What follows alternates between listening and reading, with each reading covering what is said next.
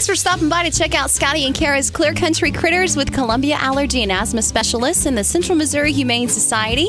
This is Montgomery. Montgomery's a three year old Mastiff Labrador Retriever mix. And this is a big guy, very friendly. He's housebroken and he's also crate trained. You'd like to give Montgomery a home? You can give him a visit today at the Central Missouri Humane Society, located at 616 Big Bear Boulevard in Columbia, or find them online at cmhspets.com.